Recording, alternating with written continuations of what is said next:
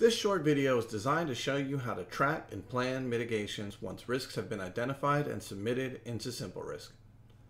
To plan a mitigation, we must first navigate to the Risk Management menu at the top and then to the Plan Mitigation panel on the left.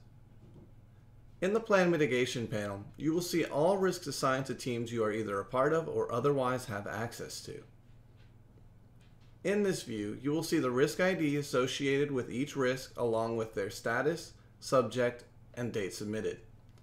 This is also where you can see if any mitigation plans are already in place for a specific risk or if any management reviews have been performed.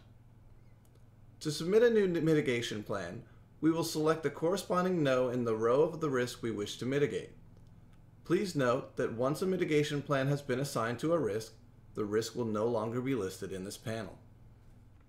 Once you click the No button, you will automatically be guided to the Mitigation Planning menu. This will allow you to map out how you plan to mitigate the risk. While you're in the Plan Mitigation panel, several input fields are displayed. The input fields with drop-downs contain preset values.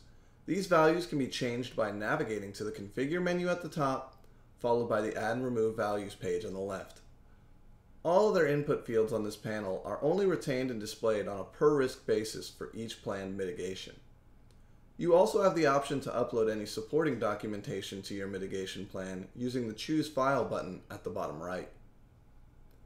Once you've completed your proposed mitigation plan, you can save it by clicking the Save Mitigation button.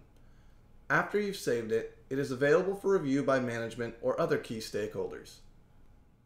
This concludes the video on how to plan mitigations. If any questions were left unanswered or you'd like to suggest any area where further clarification would be helpful, please contact us at the link on your screen.